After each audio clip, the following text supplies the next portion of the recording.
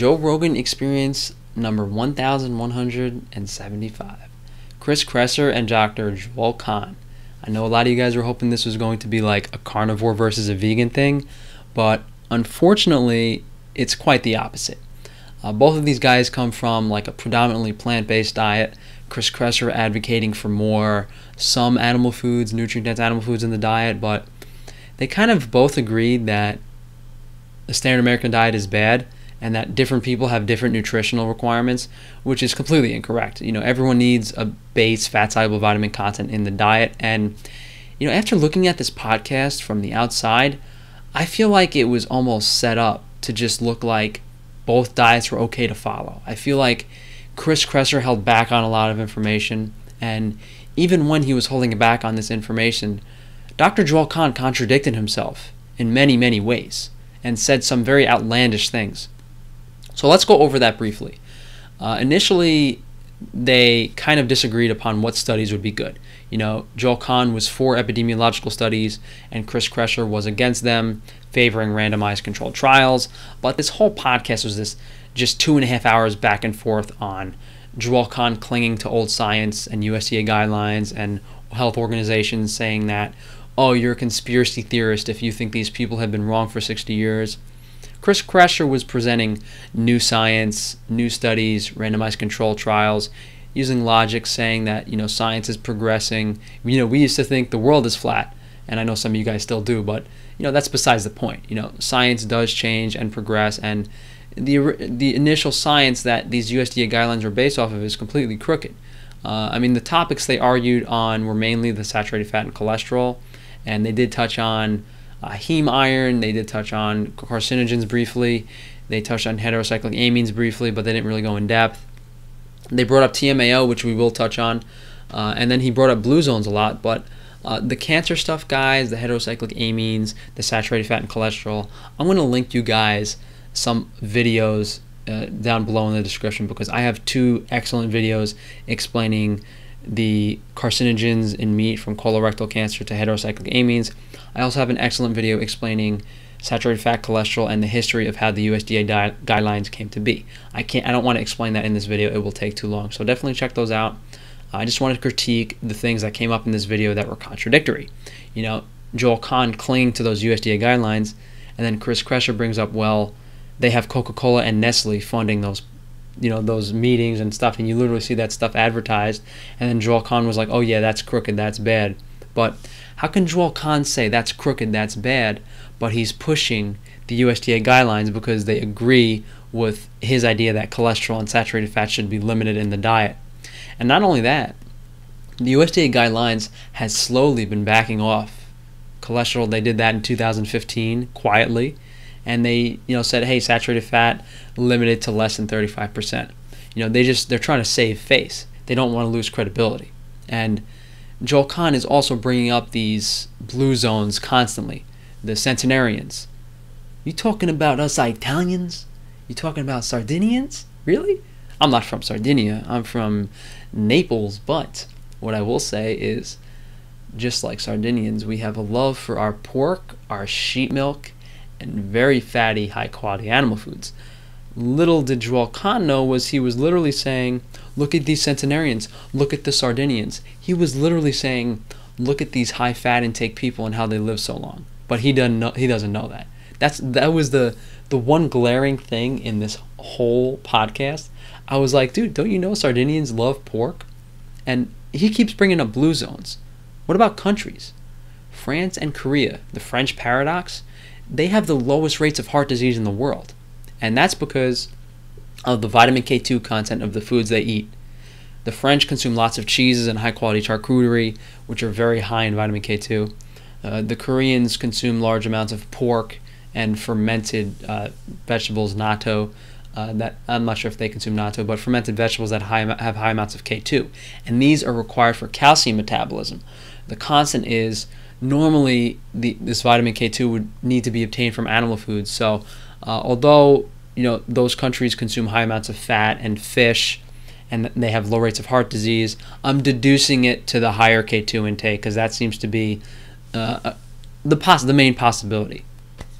I just think that you know you bring up blue zones and stuff when I can bring up entire countries of low heart disease. It's just it blows it out of the water.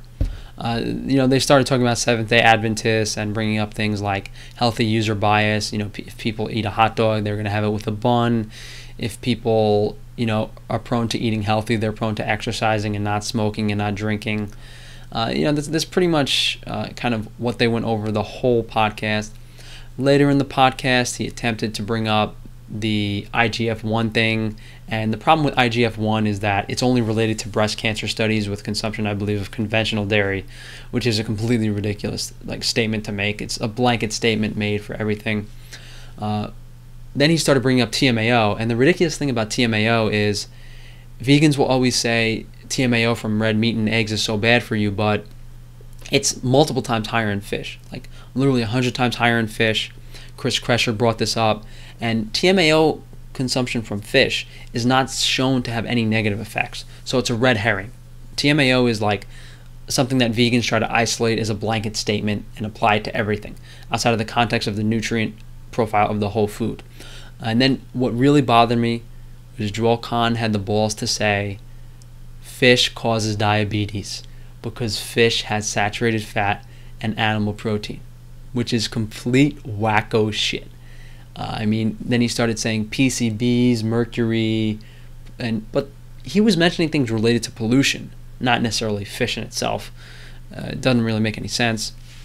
And then when Joe Rogan asked Chris Kresser, okay, what vitamins are in animal foods versus plants? And this didn't make sense to me. This is where I thought, is this a whole setup?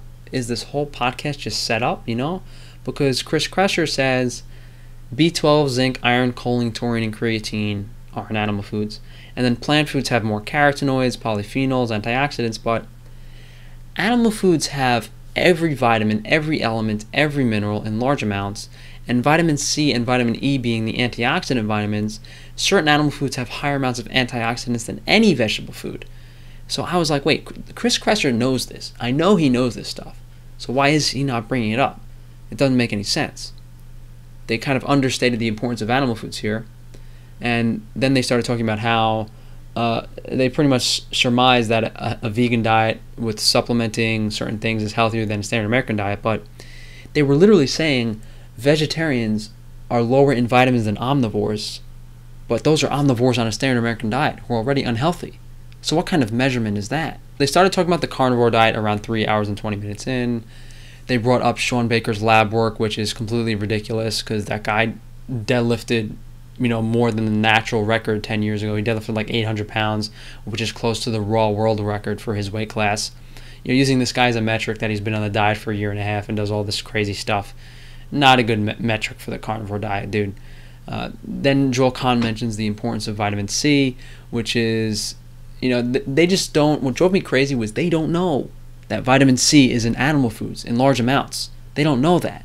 And he brought up vitamin A and vitamin C, and and Chris Kresser was like, "Oh, I don't know if kidney has vitamin C." Are you guys serious? How do these super intelligent people not know what vitamins are in these organs? It's driving me crazy. And they started bringing up uh, the lack of omega 3s and fiber and meat sticking in the colon in the diet. This is just, I was literally laughing at what these guys were saying. A whole meat diet is low in omega 3? Yeah, if you eat grain fed ribeye all day.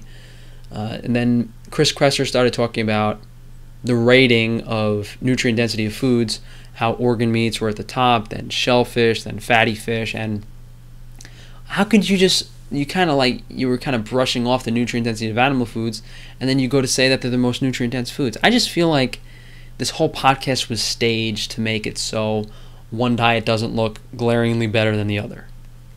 That's how I feel. Uh, he did mention at three hours, 24 minutes, and 30 seconds. There's a Joe Rogan said, "Oh, there's a guy I follow on YouTube, and he advocates organ meats." I'm sorry, I forgot his name. That was me. You forgot my name, man. Come on, that was close. This close. What are you gonna do, man? Uh, but that was a summary for you guys. I think I, I was gonna try to condense this down even further, but just the topics they talked about on this podcast, it was a waste of three hours and 45 minutes, man. I should have gone to bed three hours ago. I got to get up for work in like six hours. I'm going to be so tired. But if you guys would like to support me, please just share the channel. we could do a makeup check for you clowns. I got a rag here. I'm gonna wipe my face.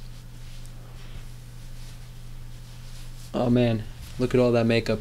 So if you guys would like to reach out to me for consultations in regards to the carnivore diet, fitness, health, anything related, water consumption, uh, shoot me an email, frank a tufano at gmail.com. Uh, outside of that, uh, if you guys would like to see any particular videos in the future, please let me know.